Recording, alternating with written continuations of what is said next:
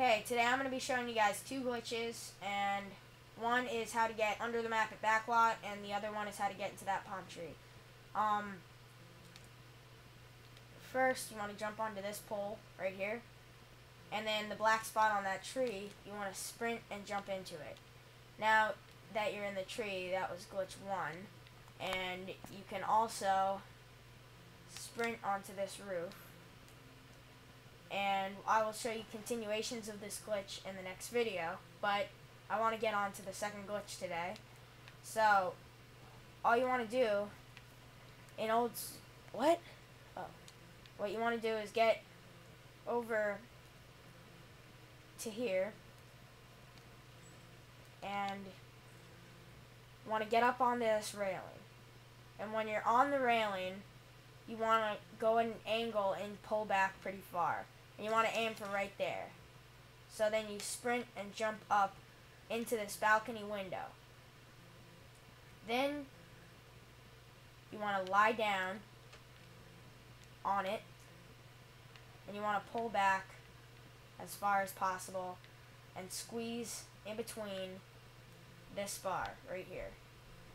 It's really not that challenging once you get the whole feel of it. First, I want to show you guys in this glitch how you can get onto the roof.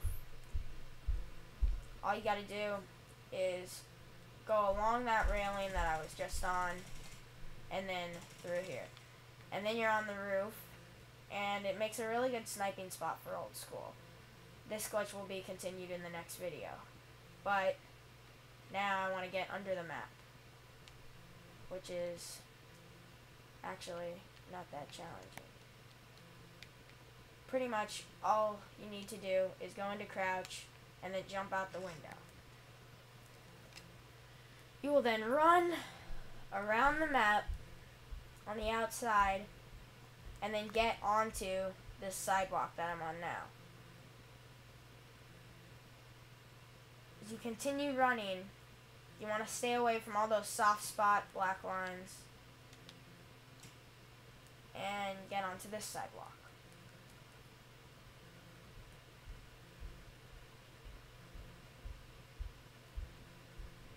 Once you have finished your long run, you see this black spot right here. You want to sprint into it while looking up and then jump and go into crouch. Once you're in crouch, you are then under the map. You can do many things under the map, and one of my favorites happens to be falling off the side of the map. Ah. You jump off and you can fall away from the map. throw a grenade up there. Kill some nice people, I guess. In the sun. And that's pretty much it.